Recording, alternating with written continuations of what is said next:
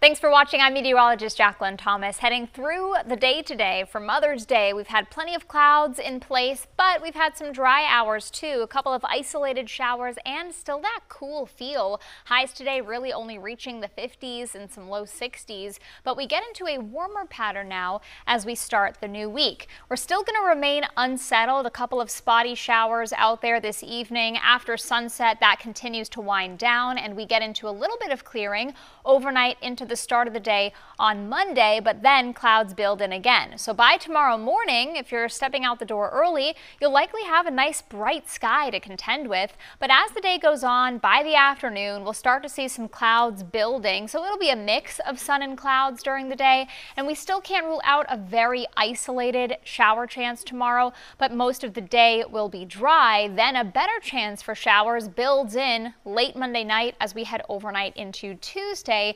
And Tuesday could feature a chance for some scattered showers, an initial batch early, and then a, another chance later on. So through the night tonight, we'll see those clouds breaking and giving way to clearing overnight into tomorrow. Temperatures tonight not quite as cool, falling back into the 30s and 40s. Then we see some warmer temperatures tomorrow. Highs back in the 60s, even some 70s expected, so not nearly as cool as it's been through the weekend.